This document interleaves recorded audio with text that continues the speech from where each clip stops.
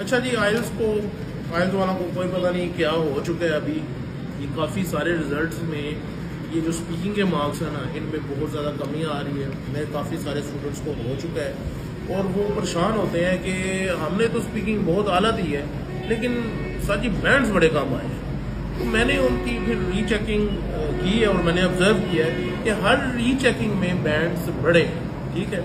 तो आपको भी अगर आपके मार्क्स कम आए हैं और आपको डेड श्योर है कि आपका जो टेस्ट था वो बहुत अच्छा हुआ है और आपको यकीन है, मुतमिन है कि यार इतने बैंड्स मेरे नहीं थे बनते, खासतौर पर स्पीकिंग में तो अपना आप चेक टेस्ट ज़रूर रीचेक करवाएँ, आपके बैंड्स बनेंगे। अब ये भी एक बच्चा है, ये रिसेंटली आज ही उसका आया है, मुझे लेटर ये देख लें आप उन्होंने साथ लेटर भेजा है और साथ बताया है कि ये देखें, उसके देखें, ये लास्ट सेंटेंस पढ़ाए जी उनको The band score awarded for this module has changed from three bands to चार बैंड टू फोर बैंड अब देखिए, एक बैंड पूरा बड़ा है जी इस बच्चे का। ये नहीं। ये नया सर्टिफिकेट आ गया।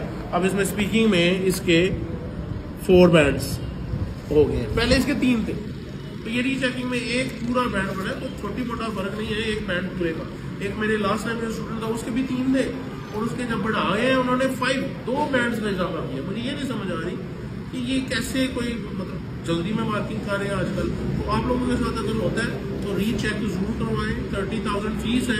अगर आपके बैंड बढ़, नहीं बढ़ते तो वो तो फिर वो जाएगी। लेकिन आपको यकीन है तो तभी आप अप्लाई करेंगे ना।